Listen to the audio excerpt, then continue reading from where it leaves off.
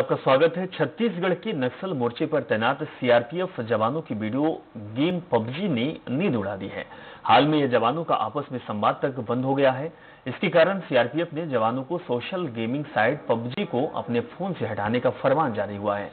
बता दें कि सीआरपीएफ के आला अधिकारी ने पाया कि पबजी के कारण जवानों के आपस में संवाद बंद हो चुके हैं। उनकी नींद पर असर पड़ रहा है, जिसके कारण नक्सल विरोधी ऑपरेशन में दिक्कत आ रही है। छत्तीसगढ़ के नक्सल प्रभावित इलाकों में सीआरपीएफ के जवान सर्चिंग के दौरान तीन से पाँच दिन तक जंगलों में रहते हैं। इस दौरान सोशल मीडिया पर वो सक्रिय नहीं रह पाते हैं।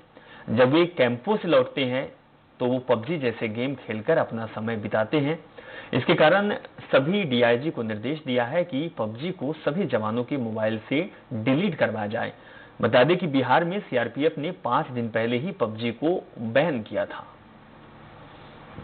हम समझते हैं, जैसे जो भी साधन, संसाधन और टेक्नोलॉजी है, उसका सकारात्मक उपयोग की जाती है। जैसे फोर्सेस है, अंदरूनी इलाका में टेलीफोन को मतलब परिवार से संपर्क करने के लिए, या समाचार देखने के लिए, या सूचना का आदान प्रदान के लिए, इस प्रकार के सकारात्मक कार्रवाई के लिए इस्तेमाल की जाती है।